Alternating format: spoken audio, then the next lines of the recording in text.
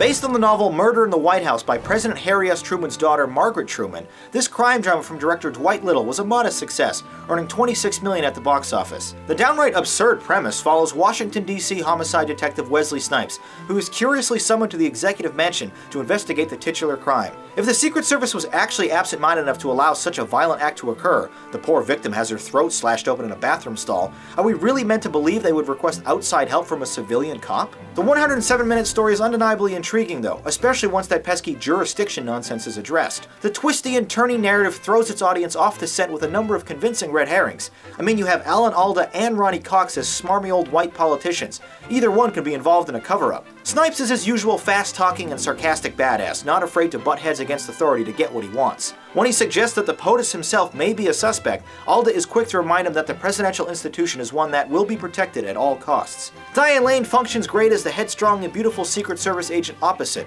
while Dennis Miller is effective as Snipes' partner, even if he's just playing Dennis Miller. The unique character details are liberally sprinkled on here like salt on popcorn. Wesley isn't just a cop, he also builds miniatures. And Diane isn't just Secret Service, she's also an Olympic gold medalist for sharpshooting. Daniel Benzali is the final supporting player of note, who provides a great turn as a gruff and pragmatic agent tasked with protecting the president. Released in April of 1997, the R-rated film takes place during a weird period in American history, when a character can mention email in one scene and then turn around and use a phone booth in the next. But a sequence late in the picture when our heroes sneak into the White House through a hidden underground tunnel is quite suspenseful. Although it rather adeptly combines elements of political thrillers with crime procedurals, Murder at 1600 still falls victims to the familiar tropes of both. The music from Christopher Young is at its best during the faster action scenes, which although few in number are paced throughout the story at a good interval.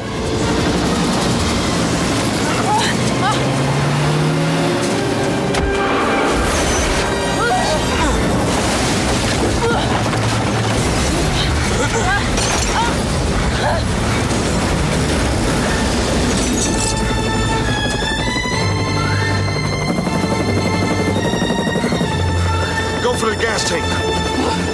He's clear!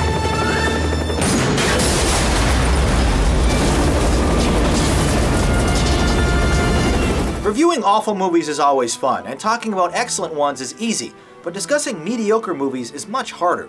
It's tough to fault this picture as it doesn't make any huge mistakes, but it doesn't really live up to its unique premise either. Fans of Snipes or 90s action films will enjoy this one at least once though. Otherwise, Murder at 1600 is an unimpressive procedural presented with some interesting twists. I thought it was good.